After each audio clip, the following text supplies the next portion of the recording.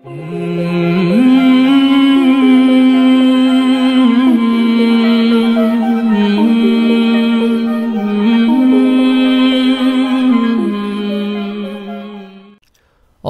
सहूलत के लिए व्हाट्सएप का ग्रुप भी बना हुआ है और टेलीग्राम का चैनल भी बना हुआ है। दोनों के लिंक्स डिस्क्रिप्शन में मौजूद हैं।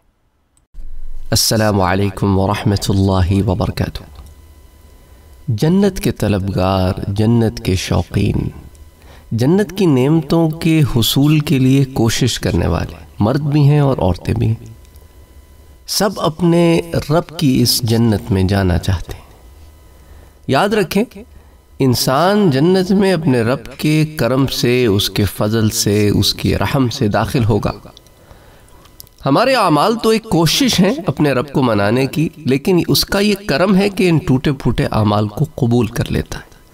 हमारी मेहनतों को कबूल कर लेता है, ये उसका करम है। और कबूल भी ऐसे करता है कि दस गुना से, सात सौ गुना से और उससे भी ज़्यादा आता फरमाता है, एक एक अमल पर। और लोगों में ये बात भी बहुत व शौक़ से पाई जाती है कि वो हुरों के तलबगार नज़र आते हैं। आइए इस ज़मीन में आज कुछ बातें आपसे शेयर करता हूँ और फिर आज के दर्स की तरफ़ भी बढ़ेंगे कि हूरों की मलिका। आगाज़ करते हैं सूरह रहमान की चंद आयात के तर्जुमे से। अल्लाह अज़्ज़ वजल का इरशाद पाक सूरह रहमान आया नंबर सेवेंटी।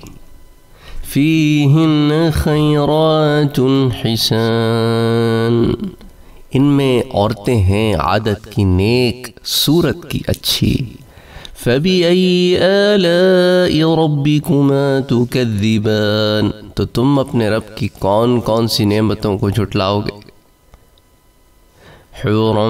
मकसूरात फिल खियाम हूरे हैं खैमों में और पर्दा नशीन फ़बी रबिकुमा तुकद्दिबान तो तुम अपने रब की कौन कौन सी नेमतों को झुटलाओगे लम यतमिथहुन्न इंसन क़ब्लहुम वला जान इन्हें छुआ है इस आदमी से पहले जो जन्नत में जिसको अता की जाएँगी छुआ भी नहीं किसी आदमी या किसी जन ने फ़बी रबिकुमा तुकद्दिबान तुम अपने रब की कौन कौन सी नेमतों को झुटलाओगे मुत्तकीन अला रफरफिन खुदर वअबकरीन हिसान तकिए लगाए हुए सब्ज बिछोनों और मुनक्कश खूबसूरत चांदनियों पर फ़बी रबिकुमा तुकद्दिबान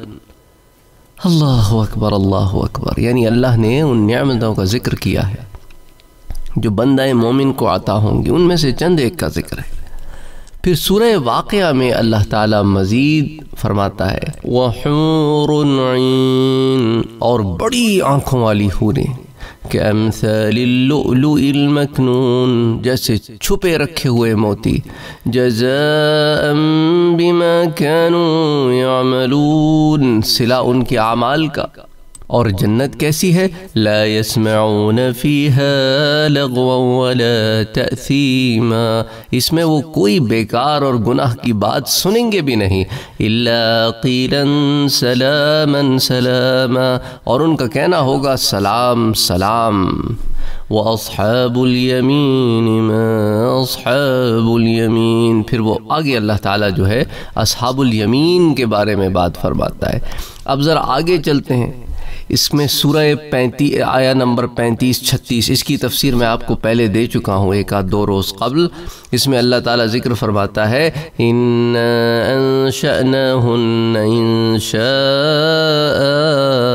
बेशक हमने इन औरतों को अच्छी उठान उठाया। अब इससे मुराद, जैसा मैंने आपसे कहा मुफसरीन ने दो आरा पेश किए हैं हुरे भी मुराद हैं, और वो दुनिया की औरतें जो जन्नत में दाखिल होने से कबल असर नौ तख्लीक की जाएँगी। फिर अगली आयत में फरमाता है फजालना तो इन्हें बनाया कवारियाँ, अपने शौहर पर प्यारियाँ। यानी एक दूसरे से मोहब्बत करने वालियाँ बनाया इन्हें, कि मियाँ भी उस पर फ़रेब था, वो भी उसकी मोहब्बत में, और उन्हें ऐसे बनाया कि उन्हें प्यार एक एक उम्र वालियाँ, एक हम असर और प्यार और मोहब्बत वालियाँ और फिर उसके बाद अल्लाह ताला ने मज़ीद फिर और ग्रोहों के बारे में, बहरहाल सूर्य वाक़ की तफसीर में नहीं जाना चाहता। लेकिन कहने का मकसद है कि इन आयात मुबारक में सूर्य वाक़ है सूर्य रहमान है और मकाम पे इनमें हुरों का ज़िक्र आया है, बड़ी तफसील से आया है। आपस की मवदत व महब्बत का ज़िक्र आया है। और देखिए अहल जन्नत में से आदिश में आता है कि कोई औरत ज़मीन की तरफ़ रुख करे तो वो तमाम फ़िज़ा को जो आसमान और ज़मीन के बीच है, रोशन करते और इसको खुशबू से भरते। और बेशक इसका दोपट्टा जो इसके सर पर है, तमाम दुनिया और उसकी हर शय से अफजल है। इमाम बुखारी ने इसे सही बुखारी में रिवायत किया है। हज़रत अब्दुल्ला इबन अब्बास रज़ी अल्लाह तु फरमाते हैं कि जन्नत में एक हूर है, जिसका नाम है लुबा और जिसे उर्दू में कुछ लोग गुड़िया कहते हैं, क्योंकि अरबी में क्या होता है कि अरबी में खेलने की चीज़ को लुबा और ख़ास तौर पे गुड़िया को लुबा कहा जाता है। तो बाज़ लोग दर्ज सुन लेते हैं, कुछ मुतरजमीन ने इसका तर्जुमा गुड़िया किया है तो वहाँ के पूछते हैं, भाई आप गुड़िया वाली हूर का भी दर्ज दें? हालाँकि वो लुबा को उर्दू तर्जुमा है। बहरहाल तो जिसका नाम लुबा है, अगर वो अपना लुआब दहन जिसको आप कहते हैं ना, थूक आम ज़बान में। क्योंकि बहुत सारे लोग जो इस चैनल पे आते हैं, सुनते हैं, उनको इतनी मुश्किल ज़बान समझ में नहीं आती जो तर्जुमों में लिखा हुआ है। लेकिन लुआब दहन या लुआब जो है, या मुँह का लुआब जो है, ये अगर कड़वे समंदर में डाल दे तो समंदर का तमाम पानी मीठा हो जाए, जिसे शीरी कहते हैं। मुश्किल उर्दू में शीरी आसान उर्दू में मीठा।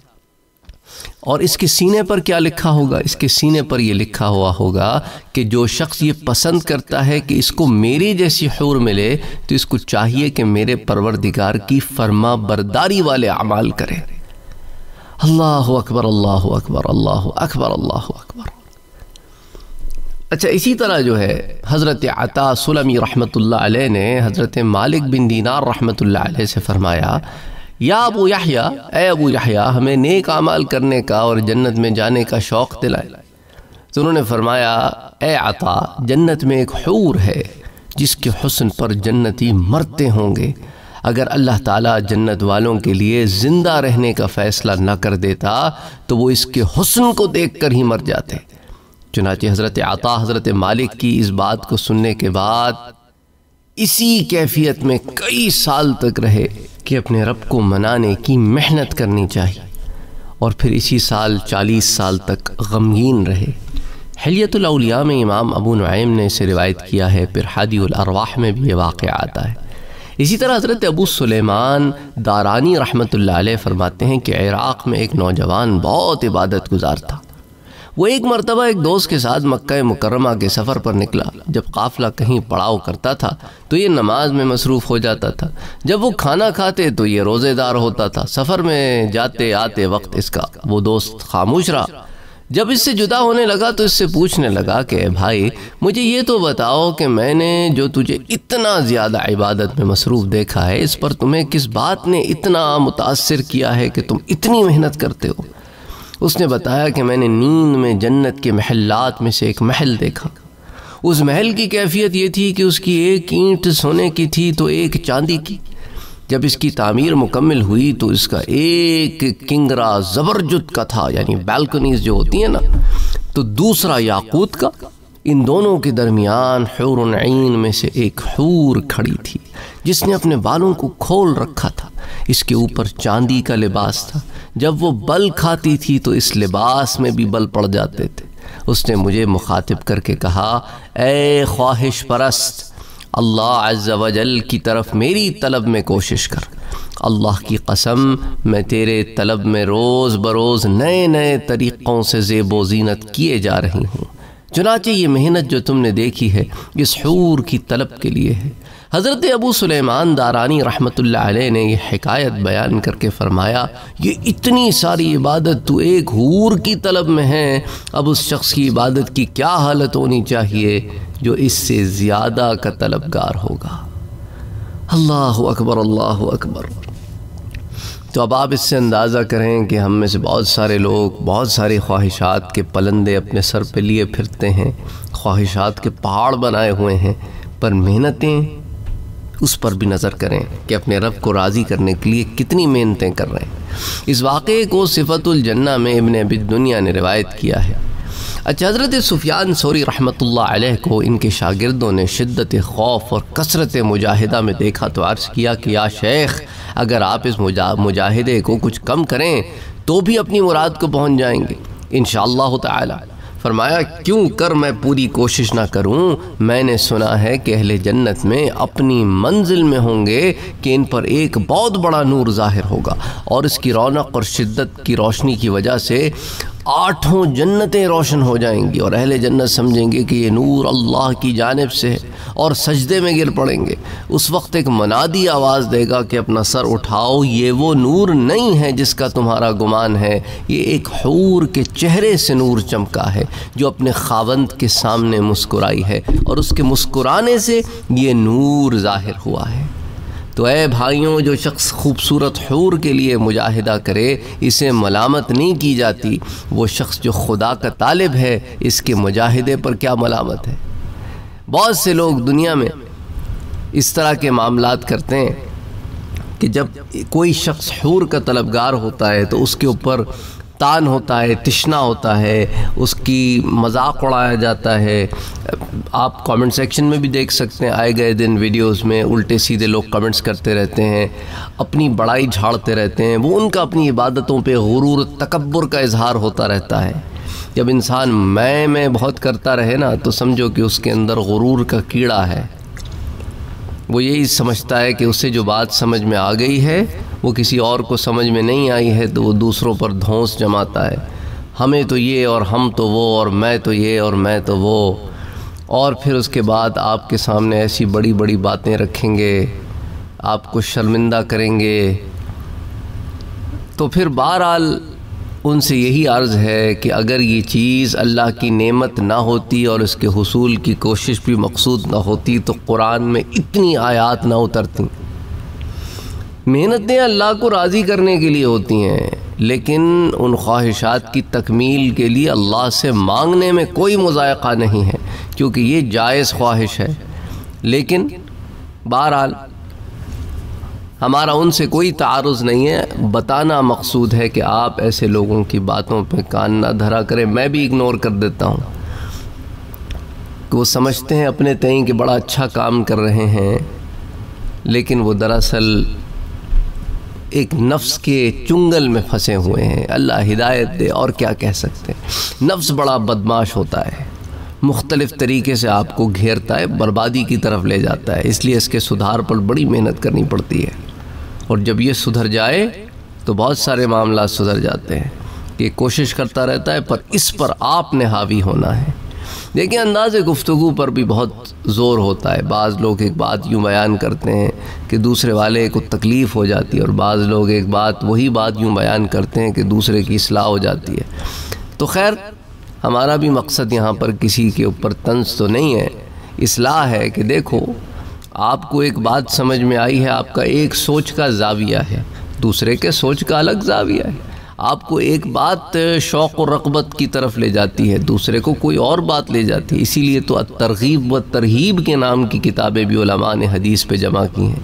वो चीज़ें जिनसे इबादत की तरफ़ रगबत हो, वो चीज़ें जो इबादत की तरफ़ लाएँ और गुनाहों से रोकें, वो तरहीब के ज़ुमरे में आती हैं कि गुनाह करोगे तो ये आदाब होगा और तरगीब, ये नेकी करोगे तो ये सवाब होगा। इसलिए किसी के ऊपर अपने तई इस तरह की बड़ी बड़ी बातें करके दूसरे को मुतहैर भी नहीं करना चाहिए, तकलीफ़ भी नहीं पहुंचानी चाहिए।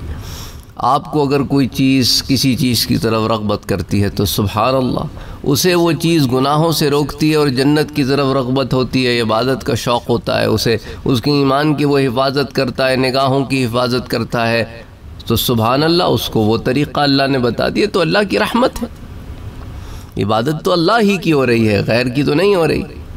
खैर, बहरहाल तो कहने का मकसद है कि हूर की तलब में कोई मलामत नहीं। जो मलामत करता है, वो बेवकूफ़ है। उसे ख़बर ही नहीं है। अल्लाह अकबर अल्लाह अकबर। बहरहाल, बहुत से लोग दुनिया में इस तरह के अहदो पैमान कर लेते हैं कि अगर हम दुनिया में नहीं मिल सके और हमारी शादी किसी दूसरे इंसान से हो गई तो कम अज़ कम जन्नत में ज़रूर एक दूसरे के शरीक बनेंगे। इस तरह के अहदो पैमान लोग कर लेते हैं ना, लड़के लड़कियाँ। कॉलेज़ में, यूनिवर्सिटीज़ में, मोहब्बत के जोश में, स्कूल्स में कराम ऐसे अहदो पैमान को जायज़ नहीं करार देते। अव्वल तो ये है कि तुम्हारा एक ऐसी औरत से एक लड़की से मिलना, ये ख़ुद गुनाह है। और उसके साथ इस किस्म की बातें करना भी गुनाह है। और जिस चीज़ की तुम्हें ख़बर ही नहीं है, उसके बारे में तुम कैसे किसी से वादा कर सकते हो? कैसे किसी के साथ अहदो पैमान कर सकते हो? और अगर वो कल करा को तुम एक किसी और की बीवी बन गई तो तुम किसी और की बीवी को हथियाना चाहते हो? कितनी घटिया गलत हरकत है ना, अगर कोई सोचो, अल्लाह ना करे, अल्लाह ना करे, जो इस तरह की सोच रखता है, उसकी बीवी के बारे में कोई इस तरह की बात करे तो उसकी गैरत का क्या आलम होगा? तो सोचो, फिर तुम दूसरे की बीवी के बारे में ऐसे कैसे बात कर सकते हो? एक लम्हे को सोचो तो सही ना, कि सिर्फ़ एक तरफ़ से खेल खेलना जानते हो ताली तो दो हाथ से बचती है। तो जो अपने लिए पसंद नहीं करते, वो अपने भाई के लिए कैसे पसंद करते वो भी तो तुम्हारा मुसलमान भाई है। इसलिए इस्लाम ने इन चीज़ों से मना फरमाया है कि इससे हारमनी बंदी रहती है जब आप इन गुनाहों से बचे रहते तो इस तरह के अहदो पैमान ना किया करें, क्योंकि कुमारी लड़की तो जन्नत में किसी शादीशुदा इंसान को मिल सकती है, लेकिन जन्नत में बीवी अपने शौर के साथ ही रहेगी और जन्नत के हूरों की सरदार होगी। समझ आई बात? तो एक सरदारनी को, एक मलका को आप उसके बादशाह से लेना चाहते क्यों भाई? भाई, ये तो मुमकिन है कि किसी खातून के एक से जायद निकाह हुए हों। तो अल्लाह करीम अपने ख़ास फजल से उसे उन शौरों में से किसी एक को चुनने की इजाज़त अता फरमा देगा। या उन दोनों में जो ज़्यादा मुत्तकी और परहेजगार होगा, या ज़्यादा इखलाक वाला होगा, वो उसे चुन लेगी बहरहाल जो भी मामला हो, लेकिन अपने शौरों में से किसी को चुनेगी। ना कि किसी गैर मर्द को अपने शौहरों पे चुनेगी। तो इस किस्म की घटिया ख्वाहिशात, हसद, जलन, रकाबत जो है दुनिया वाली चीज़ें ना, ये वहाँ नहीं होंगी। जन्नत में सब की उम्र, कद, बदन, ये दिल के अहवाल, ये एक ऐसे खूबसूरत तरीके पर होंगे कि सुबह अल्लाह तो बहरहाल जो पॉइंट है आज का ये है कि दुनिया की जन्नती औरतों को जन्नत की हूरत, हूरों पर फोकियत है। और इस ज़मीन में उम्म सलमा रदी अल्लाह तहा रिवायत करती हैं, वो फरमाती हैं कि मैंने हुजूर सल्लल्लाहु अलैहि वसल्लम से पूछा कि, या रसूल अल्लाह सल्लल्लाहु अलैहि वसल्लम, दुनिया की औरतें बेहतर हैं या हूर हैं? तो हुजूर सल्लल्लाहु अलैहि वसल्लम ने जवाब दिया कि, दुनिया की औरतों को हूरों पर वही फजीलत हासिल है, जो बाहर के कपड़े को अंदर के कपड़े पर होती है। जब दोहरा कपड़ा सिलता है तो अंदर का कपड़ा मामूली और बाहर का बड़ा अच्छा होता है। तो मैंने पूछा कि किस बिना पर? तो हुजूर ने फरमाया कि ये जो दुनिया वाली औरतें हैं, उन्हें नमाज़ें पढ़ी हैं, रोज़े रखे हैं इबादतें की हैं तो क्यों ना उनसे अफजल हो? तो इन तमाम बातों से एक मसला तो खूब वाज हो गया। तबरानी की रिवायत पहले भी आपसे ज़िक्र कर चुका हूँ कि दुनिया की मोमिन औरतें हूरों से अफजल होंगी और दुनिया की यही मोमिन औरत जिसे दुनिया में जिसमें दुनिया में अजीब से नुक्स भी पाए जाते हैं, कहने का मकसद है कि ज़ाहरी नुक्स जो होते हैं कि भाई हैज़ है, नफास है, बुढ़ापा है, उम्र का ढलान है, मुख्तलिफ़ किस्म के और मसाइल हैं, ये जन्नत में जब दाखिल होगी तो उसका एक अलग हुस्न होगा। अल्लाह अकबर, अल्लाह, और उसका हुस्न हूरों के हुस्न से आला होगा, अफजल होगा, उन पर छा जाएगी। दुनिया में इसमें कितने नुक्स हों? कौन नहीं है दुनिया में? कौन है जिसमें नुक्स नहीं है? सब में कुछ ना कुछ नुक्स है। तो बहरहाल कहने का मतलब ये है कि जन्नत में इसका मर्तबा हूरों से भी अफजल होगा। तो अब सवाल ये पैदा होता है कि वो जो शादीशुदा लोग हैं, उनसे ये सवाल है तो हम क्यों ना इन जीती जागती हूरों की कदर करें? है ना?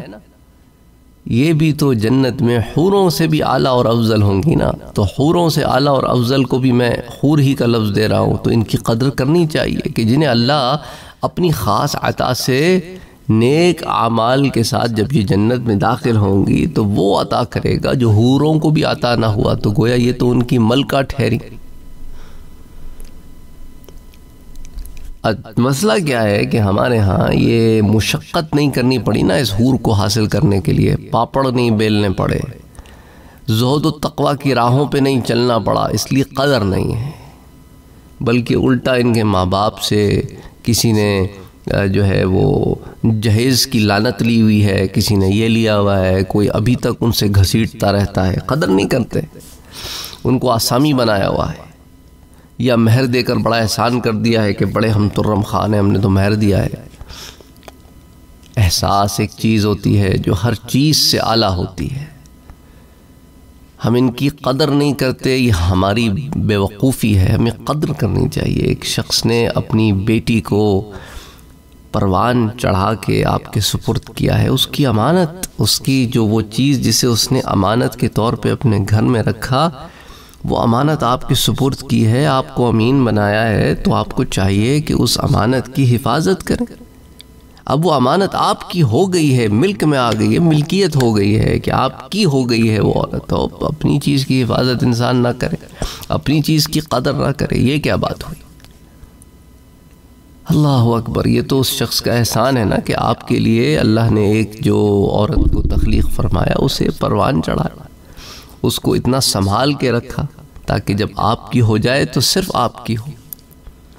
तो आपको तो उसके साथ मोहब्बत का मामला करना चाहिए प्यार का मामला करना चाहिए। तो एनीवे anyway, बताने का मकसद ये है कि देखें ना जब मर्द हजरात रिस्क की तलाश में घर से बाहर निकलते हैं तो उनके घर बार की उनकी औलाद की उनके मामलात की निगहदाश्त करने वाली ये तो हूरों की मलका ही है ना। ये तो उसी का कमाल है। वो हूरें तो वहाँ मुंतज़र हैं। ये तो यहाँ पर मेहनत कर रही है। अपनी इज़्ज़त की, अपनी असमत की, अपने शोहर के माल की, अपने शोहर की दी हुई जिम्मेदारियों की, उसके माँ बाप की, उसकी औलाद की। लेकिन हमने क्या किया कर रखा है? हमने इस पर अपनी नज़रें भी नहीं डालते। इसको नाकदरी की निगाह से देखते हैं। इसलिए ज़रूरत इस अम्र की है कि हम हूरों के तलबगार जन्नत की मलका को ना बुला भुला बैठें। अल्लाह अकबर, उसके एहसास का ख्याल करें, उससे प्यार और मोहब्बत का मामला करें कि इससे दुनिया और आखिरत दोनों की कामयाबी जुड़ी हुई है। तो इसलिए आज के दर्स को मैंने इसीलिए यूँ भी बयान किया ताकि इसलाह भी हो। और वो लोग जो मोतरज़ हैं, हूरों को चाहने वालों के, उनको भी ये बात समझाई जाए और एक एहसास जगाया जाए दिलों में कि अल्लाह ने जो नेमत दी है, उसकी भी कदर करो और जो नेमत अता करेगा, उसकी भी तलब करो और ना शुक्री ना करो, ना शुक्र ना बनो। असलकम वरहमल वबरक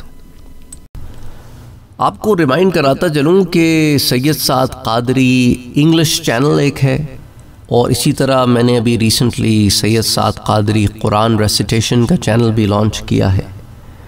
तो इन दोनों चैनल्स को विज़िट करना, इन्हें सब्सक्राइब करना, इनमें वीडियोस देखना ना भूलें। अगर आपने अभी तक हमारे चैनल को सब्सक्राइब नहीं किया है तो सब्सक्राइब का बटन दबाएँ, बेल के आइकॉन को प्रेस करें ताकि आपको रेगुलर नोटिफिकेशन अपडेट्स मिल सके और आप हमें हमारे लाइव सेशंस में भी ज्वाइन कर सकें। वीडियो पसंद आने की सूरत में लाइक शेयर और कमेंट करना ना भूलें।